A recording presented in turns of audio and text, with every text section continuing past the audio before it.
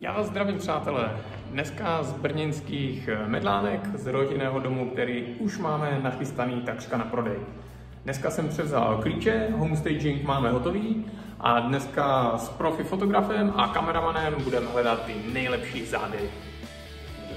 Předtím, než budeme natáčet nemovitost, je důležité se pořádně rozcvičit, jak nám do toho natáčení dopnout čísla, protože potom, abychom měli krásné ladné pohyby, tak využíváme třísla a potenciál našeho celého těla k tomu, abychom dosáhli nádherných, plynulých závěrů.